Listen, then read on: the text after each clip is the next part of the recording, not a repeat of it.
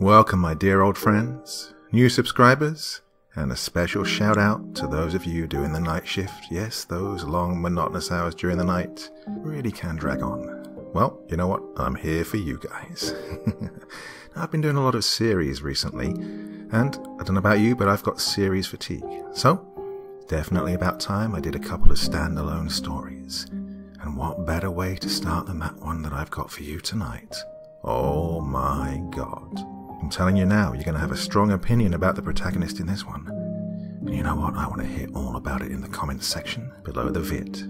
Now, sit back and relax with your favorite drink, my dear friends, because it's time to listen. After reading this, you're probably all going to hate me. But I really don't care what you think. It doesn't matter anymore. Nothing matters, except that I tell the truth. And the truth is, by the time you read this, I'll most probably be dead. So, you know what? Fuck you all from the other side. I was an internet troll for almost five years. And by troll, I don't just mean some kid with an axe to grind, trolling YouTube videos and trying to pick a fight. Mm, I mean, I was literally evil personified. I lived for one thing to bring unmitigated misery to my fellow human beings. And this is my story. When my mother died in 2012, she left me a sizable inheritance, God bless her, which meant I was fortunate enough to quit my job, to not have to work anymore, and that suited me just fine. I'm a loner by nature. I used to work in shipping, and even though my job was pretty isolated, I still found the infrequent contact with other people distasteful.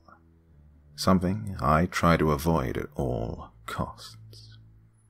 I was bullied as a child, which left me with a deeply ingrained suspicion of people, and over the years that suspicion slowly solidified into an abiding, all consuming hatred.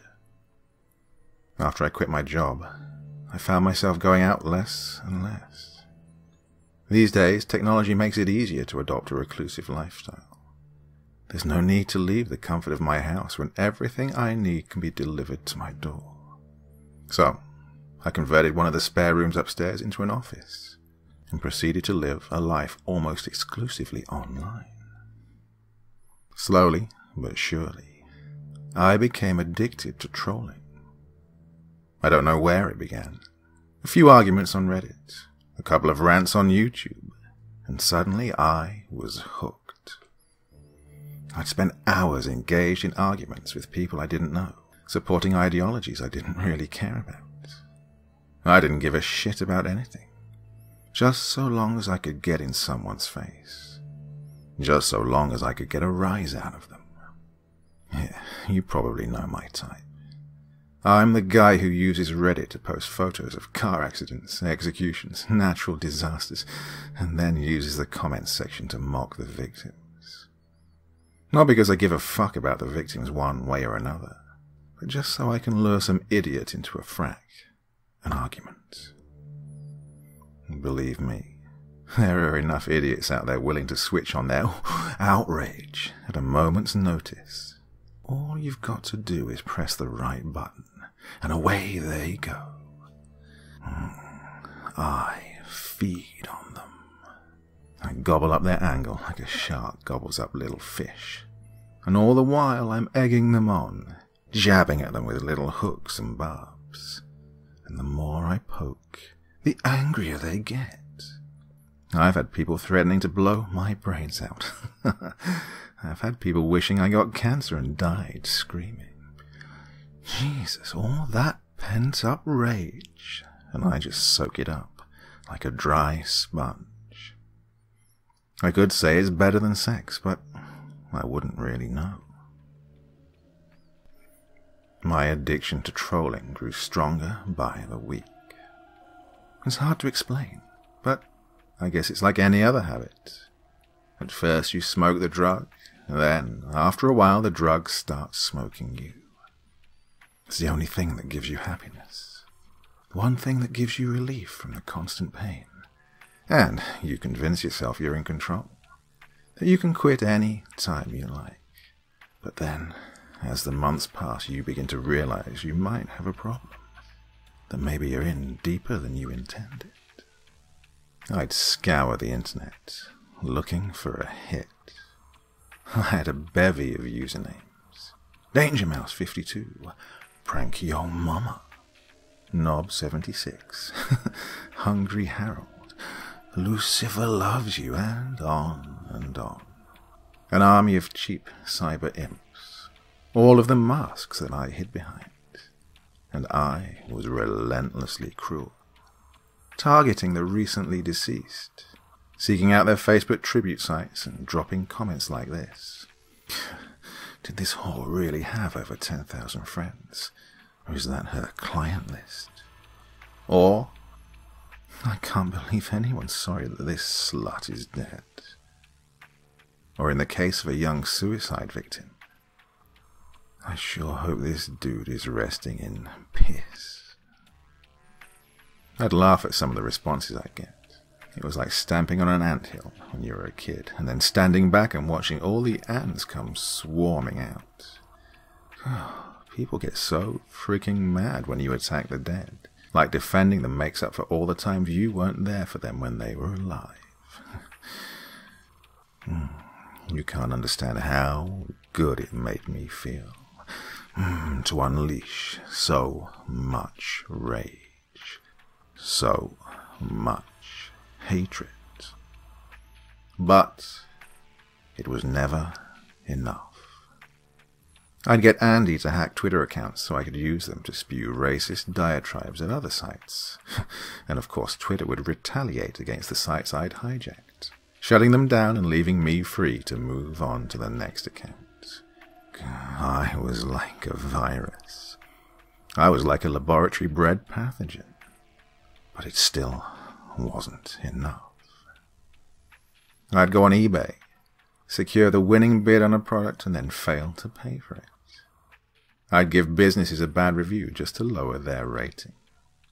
Oh, it was like I drew strength from hurting people, even if they weren't aware I was the one doing the hurting. I was happy, just so long as someone was having a worse day than me. And then one day, it all caught up with me. Signing into my personal Facebook account about three weeks ago, I found a message waiting for me. Hey Charlie, can you see me? The message came from a user called Black Volga, which was unusual given that most Facebook accounts used actual names and not aliases. The message was accompanied by a blurred photo.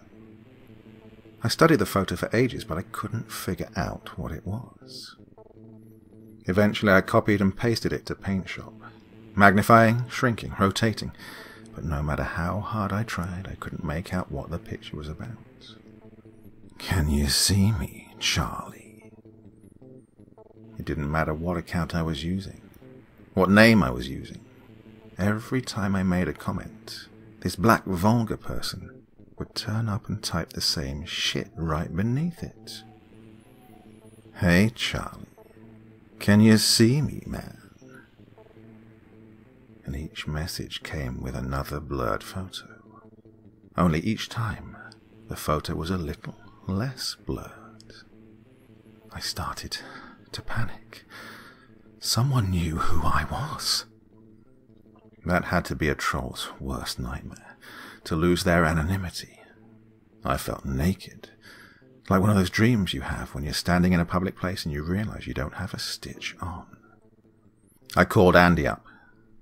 Apart from Sarah, he was the only friend I had, and, like myself, Andy was a dedicated troll. We'd met in an online chat room, both of us trolling the same girl. Some black chick who proved to be an easy target on account of how fucking sensitive she was. Sometimes Andy and I hunted together, tracking down what we like to call Phoebes, people with feeble minds and a delicate disposition. I think someone's stalking me, I said as soon as Andy answered the phone. They know all my accounts, and they know my fucking name. I mean, how the fuck do they find out my name? Are they threatening you? Andy asked. Not yet, I said. But I'm pretty sure they will. Why else would they bother contacting me? Blackmail?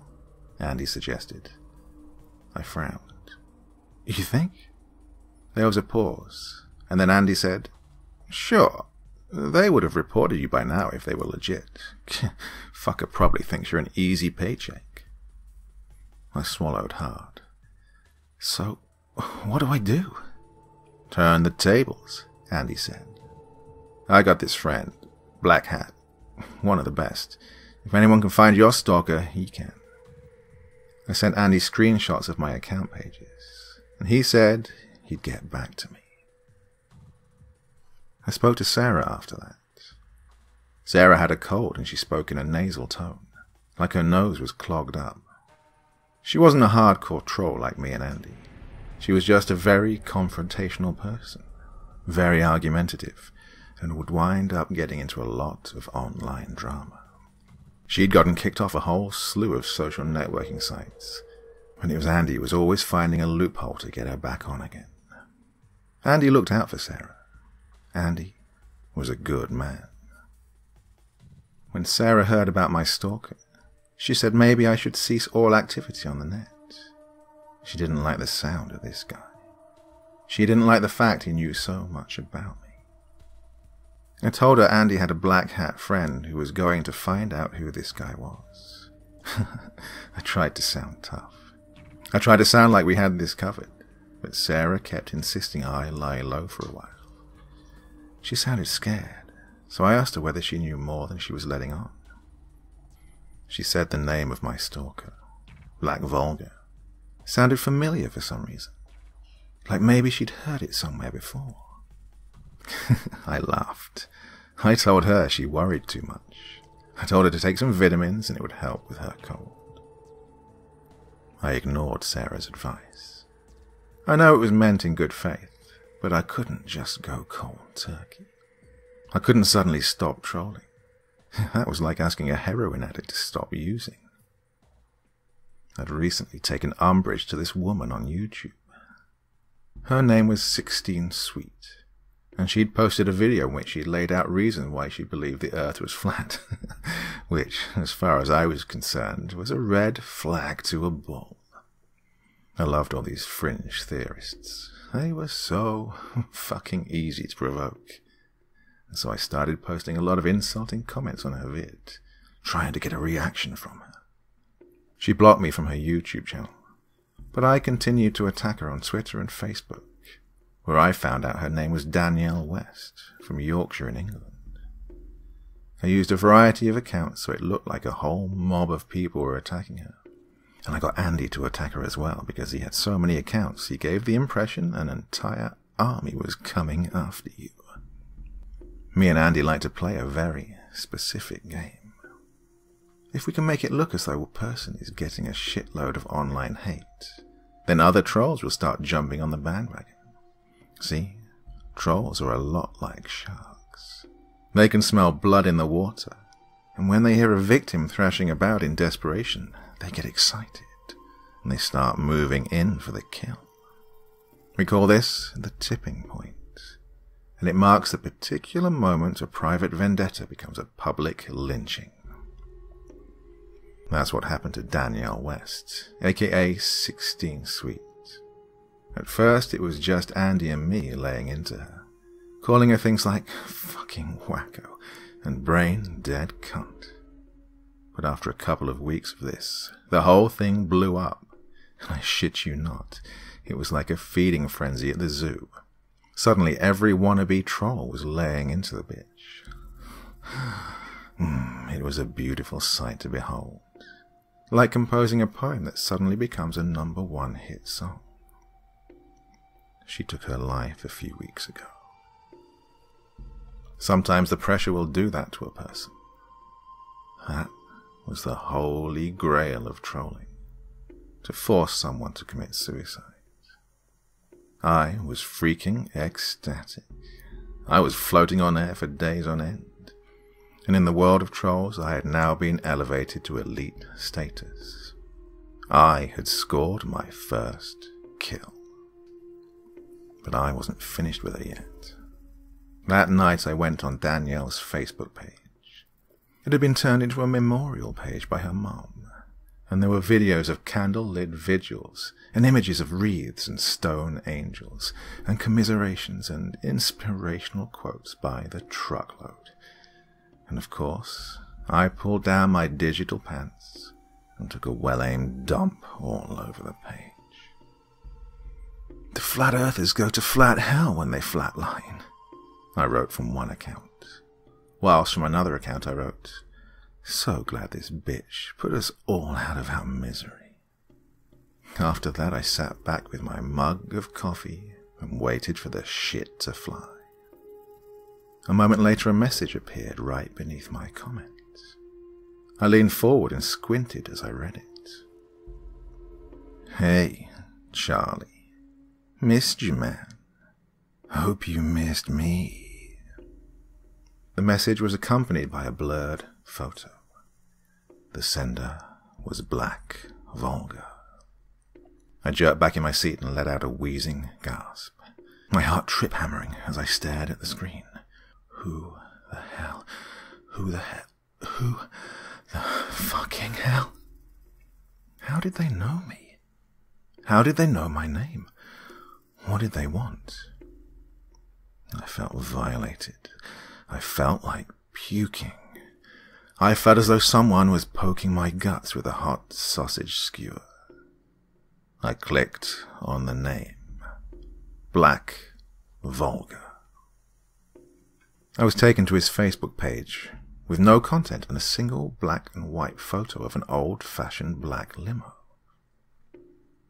I went back to the page I'd been using and studied the photo that had accompanied the message. I studied it until my eyes felt like they were going to pop out of my head. It still didn't make any sense. Who the fuck was this guy? A new message popped up. It said, Can you see me, Charlie? The message was accompanied by yet another blurred photo. Who's that? I typed.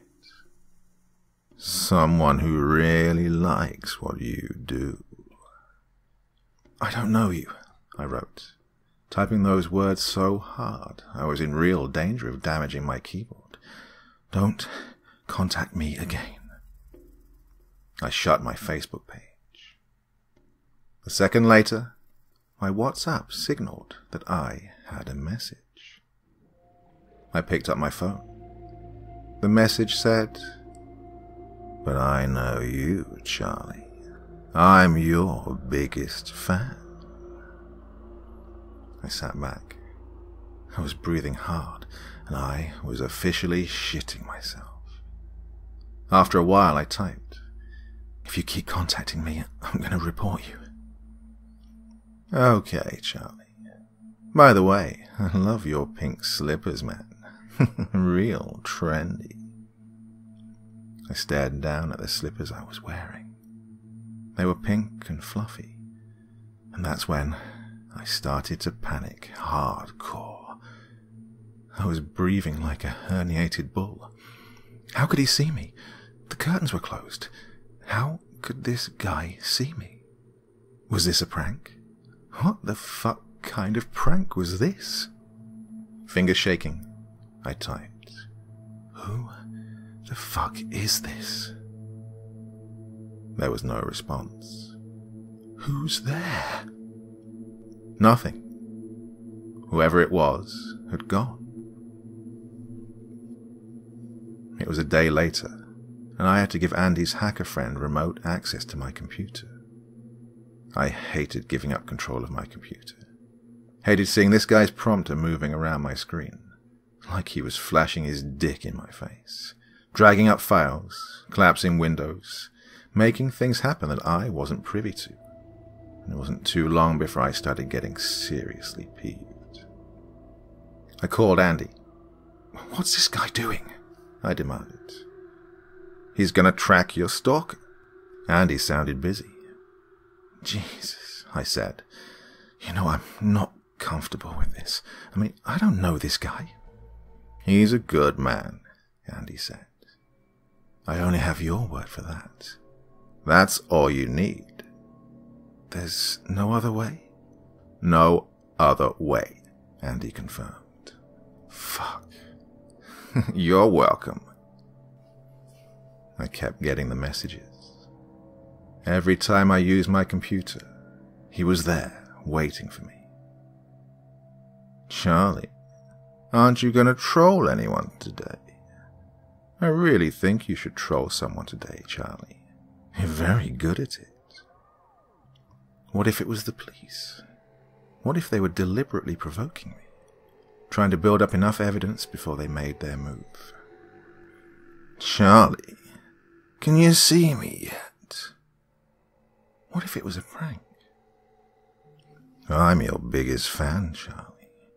You inspire me, you really do. God, what if it was a psycho? Talk to me, Charlie. I shut my computer down. My head hurt.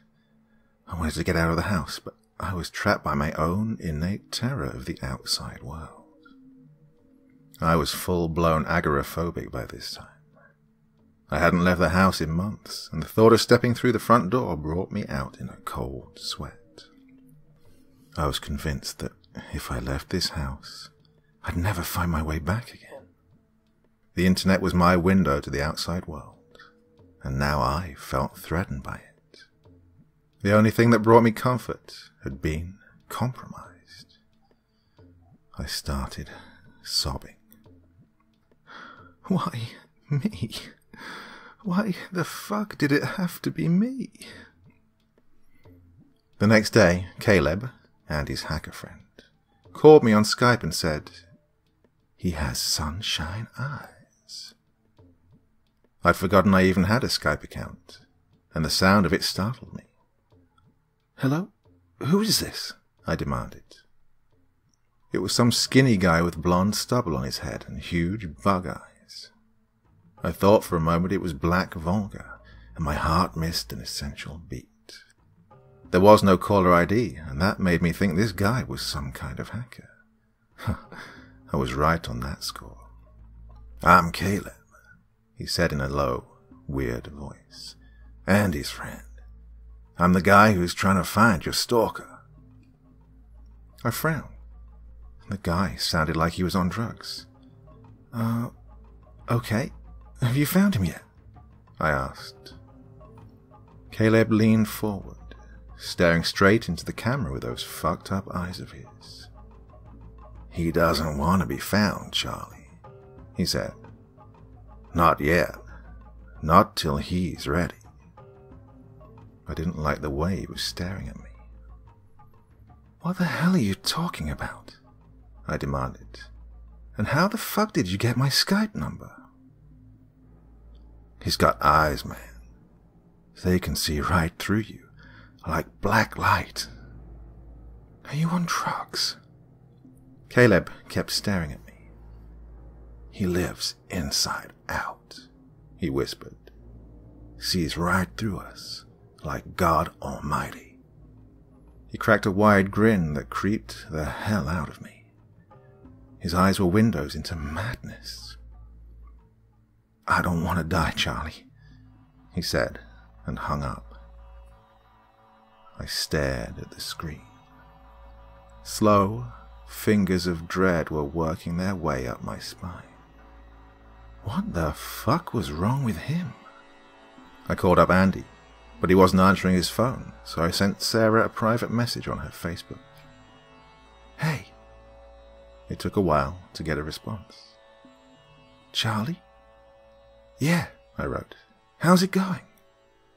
There was a long pause before Sarah's message came back to me. He sees through us, Charlie, she wrote. He sees our every sin. It's been four days, and I can't get in touch with Andy. His phone rings and rings, and no one picks up. All his accounts have gone dark. Zero activity. I'm scared. Every time I go online, there's more of those messages from Black Volga waiting for me. They are everywhere, flooding my accounts, my email inbox. Can you see me, Charlie? You inspire me, bro. I swear to God, man, you're the best thing that ever happened to me. Can you see me yet? I can see you. He wasn't lying. Whenever I went in my house, I could feel his eyes following me. That creepy sensation you get when you know you're being watched. Oh, I'm going mad. I haven't taken a shower in days. I've barely eaten. I've sealed the windows, blockaded the doors. I'm walking from room to room and up and down the stairs, and I'm constantly checking over my shoulder because I can't shake the feeling something's creeping up on me. I've even stopped trolling. Do you know how hard that is? And he's dead. I'll quote Google News, shall I? Andrew Harris, a 43 year old computer programmer in Wilson, Pennsylvania, was found murdered last night in his midtown apartment. His landlord discovered him sitting at his bedroom desk. He'd been hit from behind with a heavy instrument, probably a hammer. Well, that's as far as I got. I can't read the rest. Andy's dead. I keep calling him. I think maybe if I call long enough and hard enough, he'll pick up. But he never does. I switch on my computer for the first time in five days. On my Facebook page, I type, What do you want? The answer is not long in coming. I troll the flesh, Black Volga types back. You killed Andy, didn't you? I just want to reach into you and eat your pain, Charlie. Can I come around?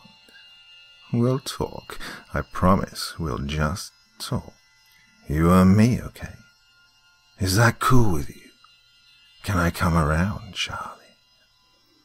Leave me alone. Please. What the fuck did I ever do to you? You hurt me, Charlie. I died and you cut me open and made me die all over again. But that's okay. I forgive you. I know you didn't mean it. Can you hear me? Can you love me, Charlie? The way I love you, man. Go away. I was sobbing, typing those words over and over again. Go away, go away, go away. There was no response for a long time. I sat staring at my screen. I couldn't tear my eyes away, and at last a message appeared. Hey, I'm in your kitchen, Charlie. I think you've run out of sugar. A crash came from downstairs. My heart gave an enormous spasm, like a hand had just reached into my chest and squeezed as hard as possible. I leapt to my feet and stood, glaring at the door. Couldn't move. I was horrified. At last, I rushed downstairs, baseball bat in my hands, a strangled scream issuing from my throat. The kitchen was a mess. There was shit scattered all over the floor, and the back door was swinging on its hinges, letting in a cold blast of wind. I closed and bolted the door and searched every room in the house, but there was no one there. At last, I returned to my bedroom. There was a message on the screen. I visited Sarah tonight. I was trying, man. I was trying so fucking hard to express myself. You know, the way you express yourself, Charlie. To just let it flow.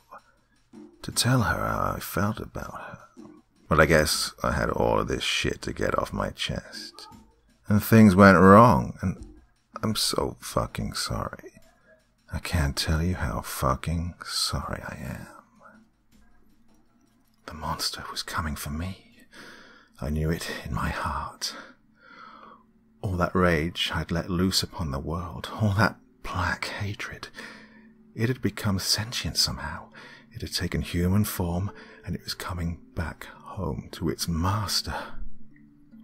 I called the police, but they weren't interested. I screamed at them. I told them that someone was trying to kill me, but you know what the cop said? You know what the dirty little fucker said? We all die sometime. Yeah, my fucking tax dollars at work.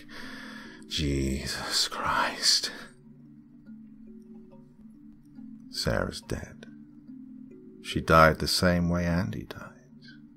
Blunt force trauma to the back of the skull. They found her sitting at her desk, like she'd been waiting to die, like she knew what was coming. I'm all alone. God, forgive me. Charlie, I'm coming around tonight. I'm coming to eat your pain, brother. I'm coming to wolf it down. I'm sorry, I typed. I'm so fucking sorry for everything I've done. I don't want to die. Please don't kill me. Please, please, please, please. I love you, Charlie. Put the kettle for me, man. I'm coming over.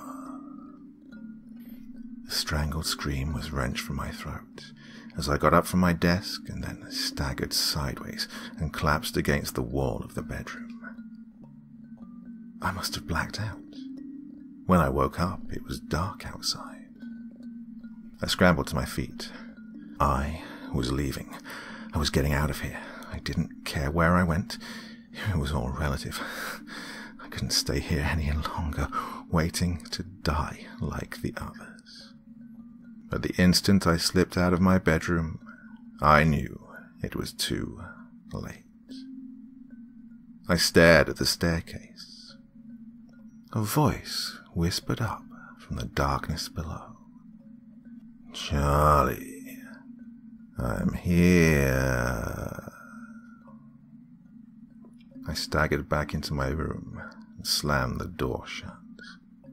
Footsteps coming up the stairs, getting louder the closer they came. I was wheezing, heart booming against my chest, blood pounding against my temple a knock at the door. Let me in, Charlie. I'm home. I'm sitting here now, writing my final confession. It's sitting in the corner, waiting for me to finish, and then it's going to kill me, just the way it killed the others. It doesn't have a face. Jesus help me. It doesn't have a face. Just eyes that stare and stare. And I don't want to die, please. Don't let me die, please, please.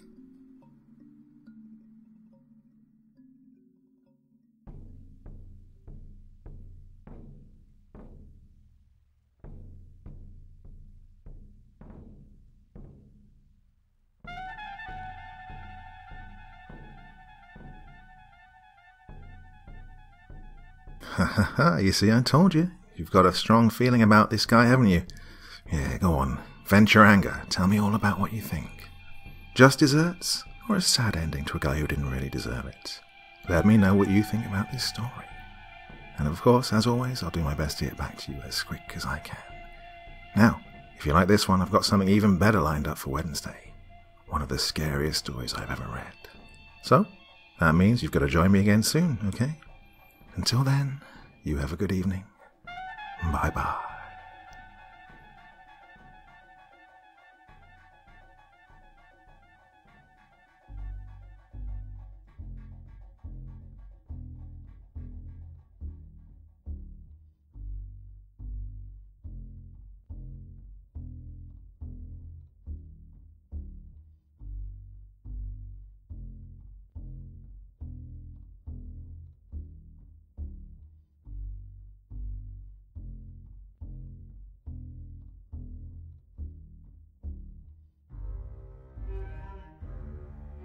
Thank you so much for choosing to spend your time listening to me. Now, if you enjoyed the Dr. Creepen experience, then come find me on Facebook. Come chat with me on Twitter. Listen to the background music and download it if you like on SoundCloud. Drop by the store, pick up a t shirt. And, importantly, if you've got a story you'd like me to read, send it to Dr. Creepen's Vault, the subreddit I set up so that I could read your stories. Now, Looking forward to seeing you all again real soon. So, come check me out, okay?